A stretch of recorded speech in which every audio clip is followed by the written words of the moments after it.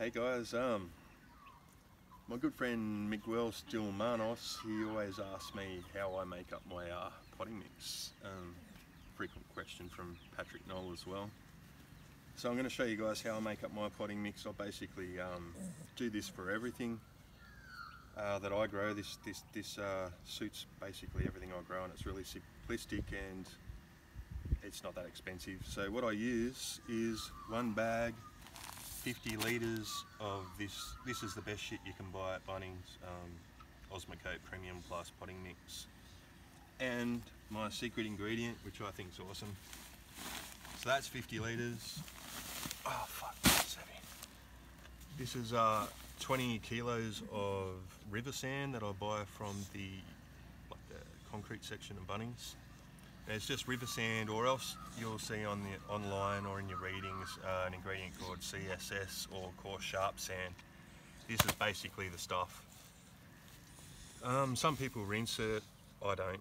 And same as some people pick out all the woody bits out of their potting mix, I don't find that a waste of time. That's myself anyway. Um, I don't find it, you know, hinders or whatever my progress, but this grow me everything from um, lofts, areas to acacias, and other trees and shit like that. I use it for everything.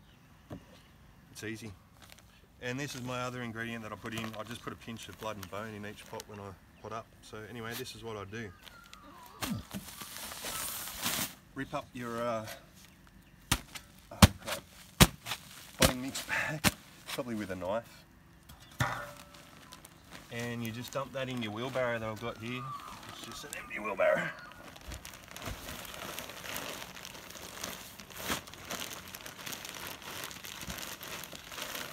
see it. Get a shot of that ash. Can you stand up?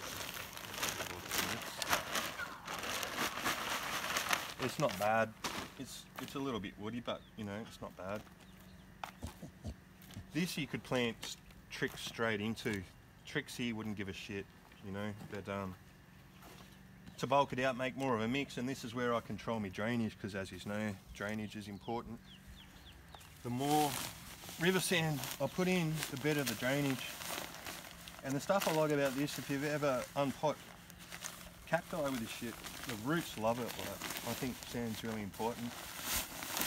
Oh well, sand-like structures anyway for the roots to lock into the pot. When the roots are locked in, the plants seem a lot happier and they do their own thing. Whereas I, I used uh, coco coir on cacti and it's shit because they're not anchored in and they're not happy. Then it's just a matter of getting your hands dirty and getting the feel for your mix and getting the feel of what drainage feels like. And you, you know, you've got to use some elbow grease and hook in. It depends on how fit you are and how much you want to mix this up. This is wet as. I had these bags on my ute for a week during that rain we had. And it's hard work, but if you do get use it straight out of the bag when you buy it, it's not like hectic as this is. This is getting better. Oh, you got to get right in there because all your heavy will be on the bottom. And at least it's all about feel, you know, feeling your mix and feeling, I reckon. I love doing it barehanded because you get to learn, you know, what, what's a good mix. And you get to feel the drainage you want, that you want in. And, and the more drainage you want, the more sand you put in. And man, that's as far as I can be stuffed doing this.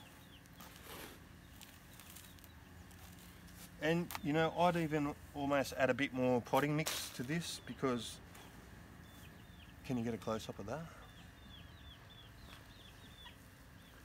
It's very sandy, that's cool, that, that'll still hold water and will still do the purpose that I want to do today. But,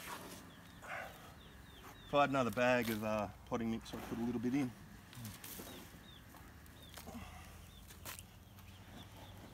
That's all I got.